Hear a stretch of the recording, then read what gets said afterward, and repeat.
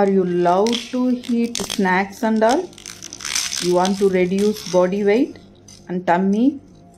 You can eat whatever you want. There is no diet and there is no exercise. Free doctor consultation